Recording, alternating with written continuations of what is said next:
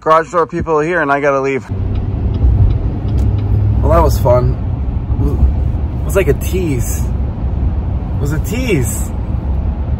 The garage door people were supposed to be here yesterday and, and they're here today. And I'm, I'm still sad about this. Uh, I'm torn because I'm going to my special treat for this episode. Yet the sweet garage door is being installed as I drive. So that's okay. I hope he does a good job. If he doesn't, I still gotta pay him, right? So I'll make sure it's good when I get back.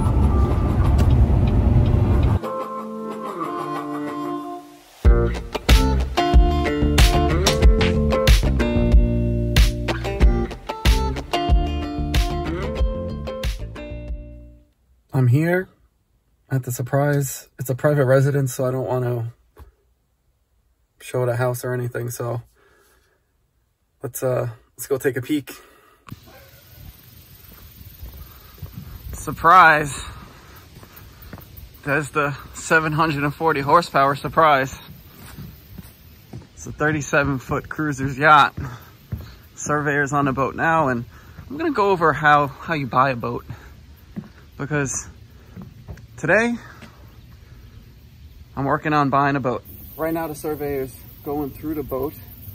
There's not a lot of info about surveyors and what they do when you go through the boating buy, boat buying process. So I'm gonna document it and I hope it's informational and educational for people buying boats. I go online, I go look up a boat for sale and all I see are dealerships that do a five minute video and they say, buy my boat, which is not informational for people that don't never owned a boat. So that's the plan today. And I will go over the whole entire process of how a boat survey works. So right now, the boat is being surveyed by the surveyor. Uh, when you buy a big boat or any type of boat really, maybe over 25 feet, it's worth it to get a survey.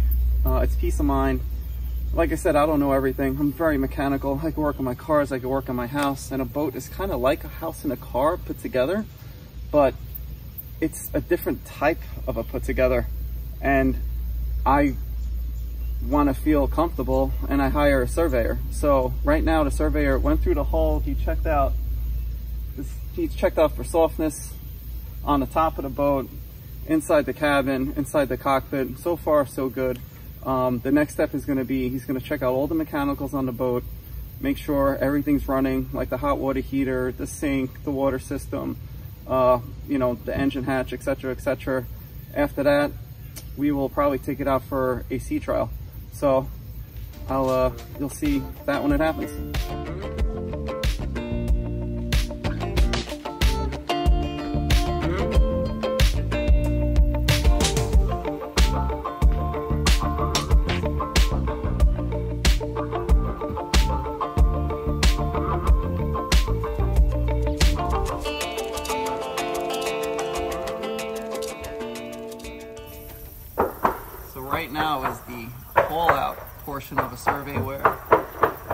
Banging. He's banging the hull to make sure it's dry. If it's not dry, we have a problem. But so far so good with this boat. Everything seems pretty dry and um, positive thoughts. So that's that's a haul out.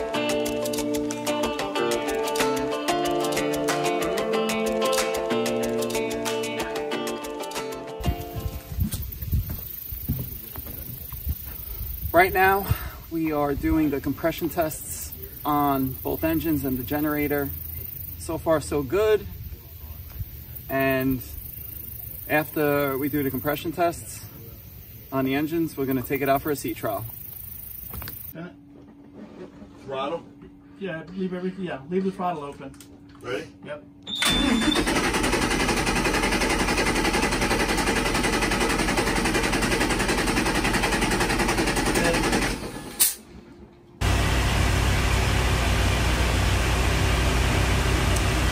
off on a sea trial.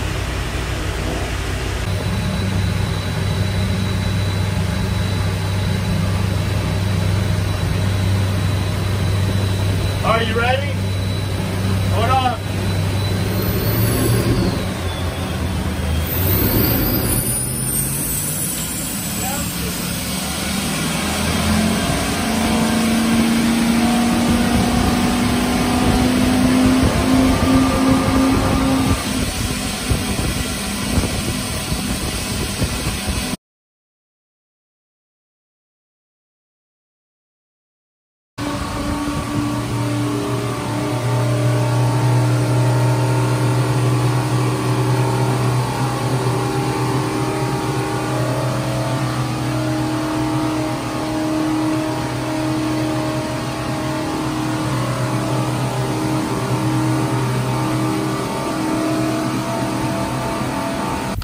Back from the sea trial. It went pretty well. There's a couple of tiny little issues that uh that are not going to be deal breakers that we got to work out. So we're just been getting some oil analysis. So the survey is pulling oil from each engine and the generator, and then we'll get that sent off.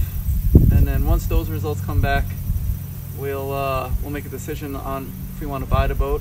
Uh, so everything for the most part, it was a really good survey. Uh, when I get back to the house, I will recap the survey once again, and I'll I'll just streamline what the whole process is. So, survey went well. We're super excited, and when I get home, I'll, I'll talk a little bit more and recap. Morning, everybody, and welcome to another day of today I work on. And today I'm to work on finishing the garage door. And by finishing the garage door, it means I'm to install the wall mount garage opener by Chamberlain. Now, this was not my first pick for my garage door opener because in my three car garage, I have a LiftMaster 8500 series garage door opener, which I'm not sure if one's better than the other. I honestly think they might be the same, but for some, for some reason, the LiftMaster 8500 went up in price big time. I bought them a couple of years ago for $250 a piece. For some reason, they're now at $750 a piece, which kind of blows my mind. Um, that's a huge markup. So the Chamberlain was going for $399 and I decided to spend a little less money. Since it's the barn and since I feel like it's the same product, I'm gonna compare both of them and I'll let you know how I feel as time goes by. So moving on from the garage door install, I'm gonna recap the boat survey yesterday. The boat survey went really well, but there's just one issue that I wanna get cleared up before we actually buy the boat. And it's like the biggest issue that you could have on a boat that's not, it could be a false positive, it could be a false negative on the results, but we need to drill into something to find out. But the seller is not willing to do that until we give him our final negotiation price. Because a few things did pop up on the survey that need to be addressed by the seller and he know he knows about it too because I do my research and he mentioned it a few times on Facebook but he never fixed it. So I have to I gotta I gotta stay firm and even though we we really love the boat it's the perfect boat for us business is business and if everybody knows this a boat is not an investment. It's not like buying a house or building a barn or renovating your property to increase your value. A boat, it's called boat for a reason. Break out another thousand, but that break out another thousand doesn't go into an investment account or it doesn't appreciate the value of the boat. It just sinks the value even more basically. So I'm not gonna rush into buying a boat. The right one will come up. If the seller wants to work things out, then we will go ahead. But for now, we have to wait till the survey results come back and especially the oil samples. That's something I really want to see. So I will keep everyone posted. But for now, let me get, let me start working on the garage door opener.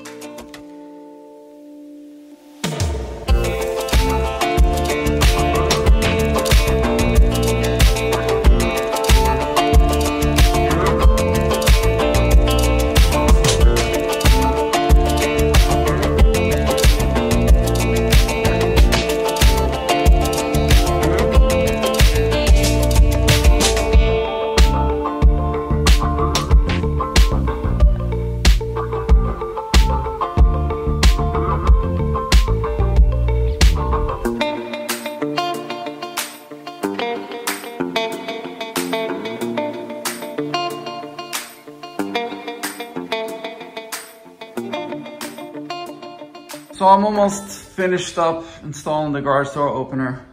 I have to power it up. I gotta run all the lines to the control board on the garage door opener. And if you notice, the outlet is basically in the perfect spot.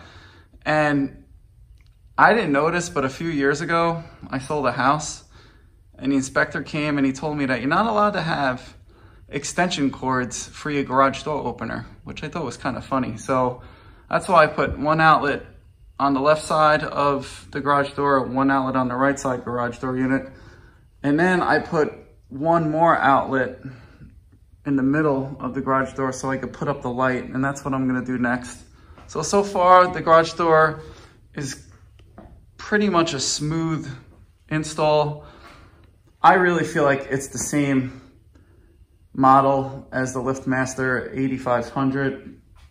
Um, this one is the RJO20 by Chamberlain, and I have to look, look it up, but I'm sure LiftMaster and Chamberlain are the same company. So let me get back to work and finish this up.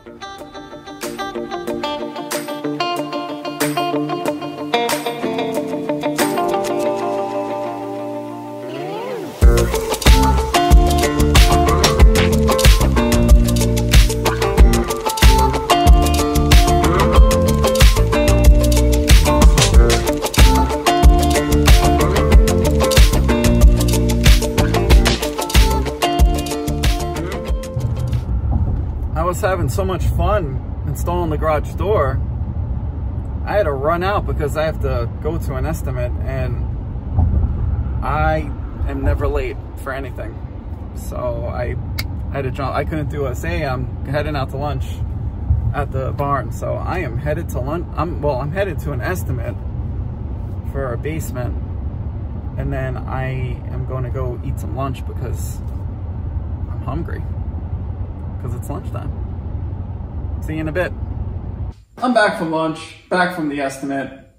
That means I'm back to working on the garage door opener.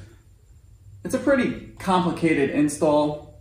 I've done quite a few now, so I can bang it out, but still, it takes a little bit of time to get it all situated.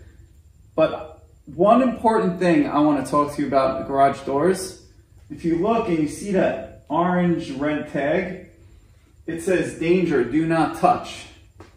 And there's a reason why it says danger to not do not touch. And many people don't heed that warning. And then you know what happens? Their garage door is not working too well. They're like, oh, let me look at the spring. They try to adjust it and it explodes on them and they get hurt. So pro tip, call up your garage door company but this garage door and any garage door, I will never touch them. I will install the openers, but that's the extent of my expertise. And there's a reason why you call professionals. So you don't get hurt and the product's installed correctly. And it'll always cost you probably more in the long run if you try to be the hero and try to mess with something that's actually complicated and it takes experience to figure out. So the garage door spring is definitely one of those things where you need to call an experienced garage door tech to take care of it. So that's that's that's basically my pro tip with garage doors and I'm going to finish all the I'm going to get all the sensors on the garage door, power it up, and then we'll test it out.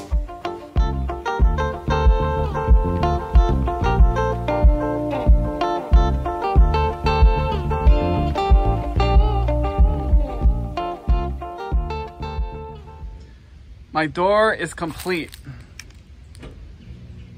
This is a Haas Premium 360 with frosted glass and metal frames. Uh, the glass is also insulated. And if you look up, check out the light. The light is a soft white light bulb, which is 2700K. And the, the other lights, the LEDs, are 4000K. So you can see how brown the soft light is. That's why it's, I can't, I can't deal with it. But anyway, onto the controls of the garage.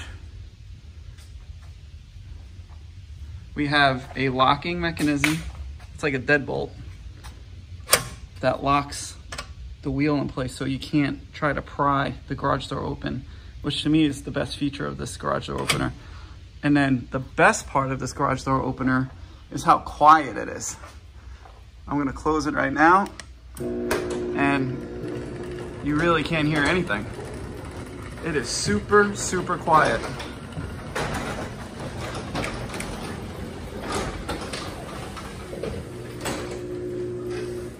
So that's that's a garage door install. That's a wrap for today's episode. Garage door opener is complete. There's nothing else to do for the garage door. Finally done. Tomorrow, I finish up the few pieces of insulation that I'm short on, and then I'm gonna fly through this drywall. So if you like these episodes, please like them. If you want to subscribe and get a bunch more content about everything I work on, click the subscribe button. Thanks for watching, and I will see you next time.